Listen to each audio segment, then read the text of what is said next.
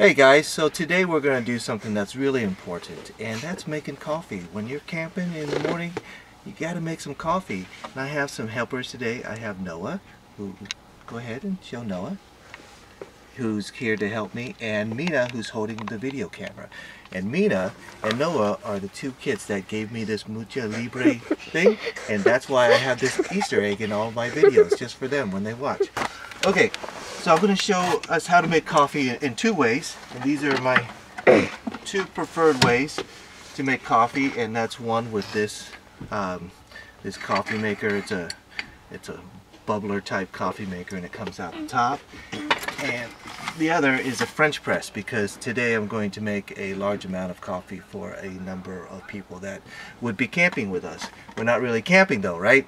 We're just fooling around in the car, in the garage and I, I, recently got this portable coffee grinder, camping coffee grinder, which I, I think it's really great, and I, I want to give it a shot today. So we're going to start off with uh, the first kind of coffee maker is using this. Ah.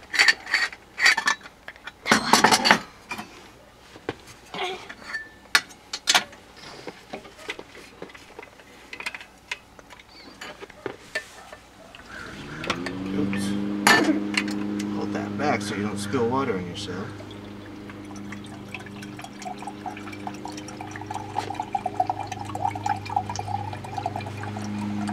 And because my two helpers are here, I'm going to make some hot cocoa too, not just coffee. Because they got to have some. So we're going to use this Jill's Organic Roast and uh, the gardeners are here, so we're going to talk over the the sound of the lawnmowers too.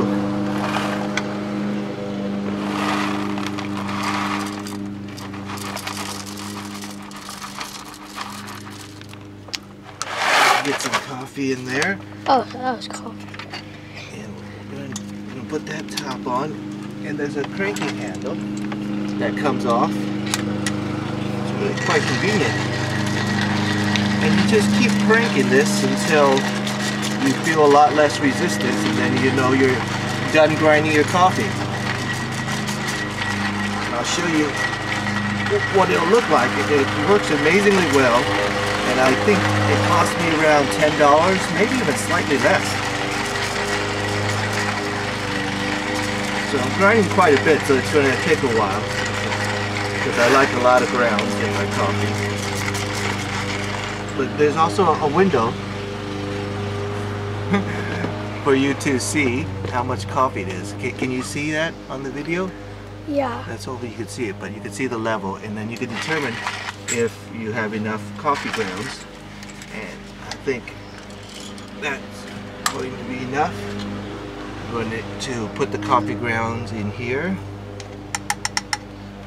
And you can take a look at that. That's um, a little coarse. I can smell it. Put it in there. Get this cap on and this coffee maker, just the steam rises to the top and it fills up the top reservoir and and it pushes the pressure through that filter and that's why it gives you the nice flavor of um, pressure coffee set up this that. Turn it on. You go. This is a butane. So you, you want to be in a, a, slightly, at least some kind of slight ventilation using this butane lighter. As you see, it took me a couple of cranks before it actually lit, which is actually a little rare. It usually goes on the first one, but there's always some gas escape so you want to make sure that uh, you know you're, you're safe okay so uh, now that it's it's starting to boil we're gonna come in and you could actually kind of hear it oh there it goes and that was good timing so when it, when it boils what I like to do is make sure it's all out and, and you could kind of hear just keep an eye on it. You could hear when it's ready to, when it's all boiled out and it's ready to go and you can see all the steam coming around here. Should have turned it this way, which is usually the way I prefer to do it. But uh, you know, you can see that there's a lot of steam buildup in the car. So again, it's, it's good for a little ventilation. And that should do it. I'm going to turn off the flame. And now all the water should be in the reservoir on top. And we're going to just pour it in like that. And that makes you a, a nice pressure steamed cup of coffee while you're camping. Now, Noah, you want to smell that? Tell me, does that smell like good coffee? Smells like good coffee? Smells like good coffee to me. So that's, this is a great way to make one cup of coffee. And the next is, uh, you know, you don't want to do this for the five people that you have camping with with you, but you, maybe you, you might want to. But if you do have a larger group, uh, the next step is using this French press, which we're going to do next. Alright, so while I'm enjoying this cup of coffee, I am going to start making the, the second, um, closer to a pot of coffee than a cup of coffee. Man, that's hot. Okay, so I'm going to use this cabinet that I just made and get my um, my tea kettle pot. And Noah's going to help me pour in some water. no what?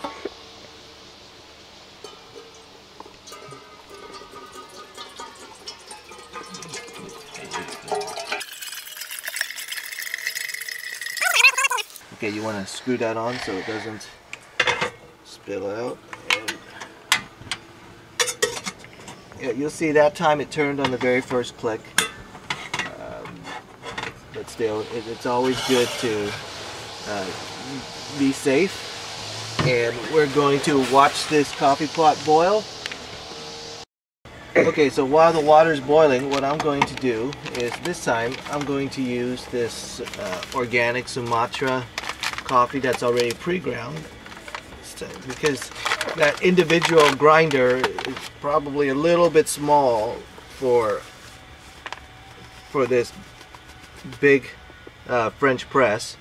Um, I mean, of course you can do it, but it's going to take you a little bit of time. So in this case, I'm going to use the, the pre-ground coffee.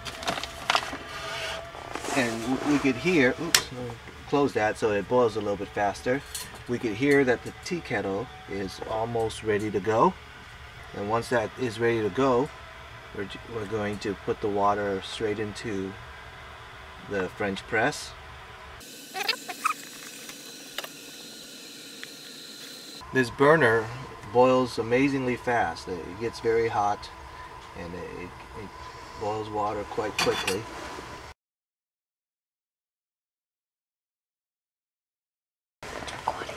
Alright, we can see the steam is beginning to come on out.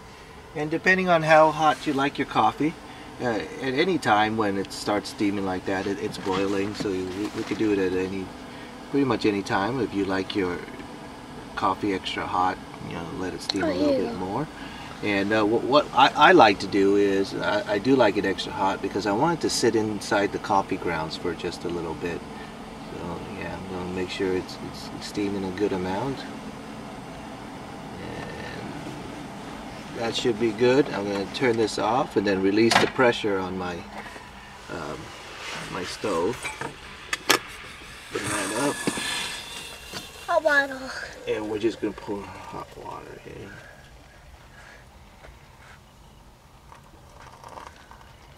And our eyeball estimate turned out to be pretty good. So we're just going to let it sit. And um, this is a matter of personal preference, how, how long you prefer to let this sit for. Uh, some people like to let it sit for a minute, but you know, it's up to you. And I have a coworker that uh, uses a coffee press every day, and and he uses the pump technique. Uh, so I like to go slowly down and and get that good pressure build up and push the coffee through. He likes to use the pump, um, which I, I think works out well. But I find that if you use the pump technique, you get more bits, into your coffee itself. So there we have a small uh, cup of coffee for the rest of our group. All right, now, so we're gonna do the most important thing of every camping trip, and that's making hot cocoa, right guys? So I got my two helpers and they wanted to be a part of this also. All right, here we go. We're gonna show you guys how to boil water and make hot cocoa.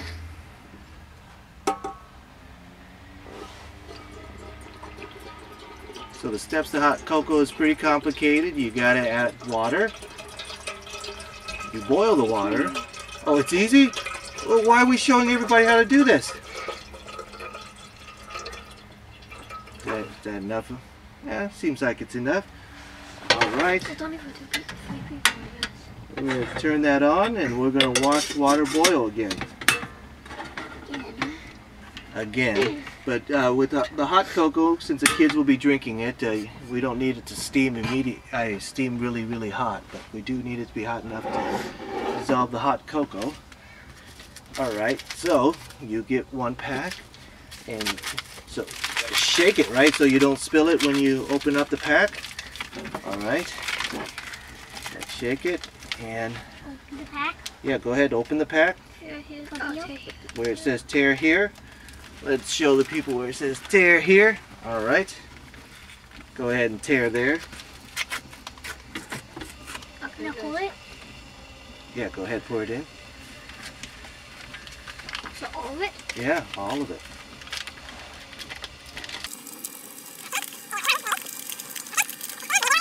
All right, so we have two properly prepped cups of hot cocoa. And forgot to close the cap again. I'm going to enjoy some of my coffee that I made earlier. One nice thing about the metal cups is that you know it, it doesn't break and when you're driving it doesn't clang around but it's really really hot when you're trying to drink co hot coffee and the whole cup is hot not just the coffee itself it- it's a little bit hard to get your lips on you know that's a drawback of the stainless steel cups but you know they're, they're easy to clean and they don't break they around you're okay these uh, porcelain cups we got from inside the house because you know I didn't want the kids to burn themselves Okay, so the water is, uh, you know, it's boiling. It's not steaming really hot, which is the way I like it when I serve hot cocoa for the kids. Turn that off, release the pressure.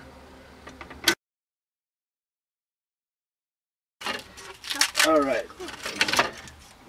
Two chopstick, uh, one chopstick makes two stirs, right? There you get one, you get one. And all right, see, here you go. And you guys could demonstrate to our audience how to stir hot cocoa. Yeah. There, you got hold by the handle. I There think you I, go. I was doing it the wrong way, but okay. And go ahead and sample it. It's hot. A little bit at a time. All right, is that good hot cocoa? Yeah. All right.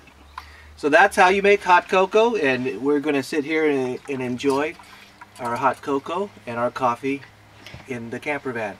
Bye, guys.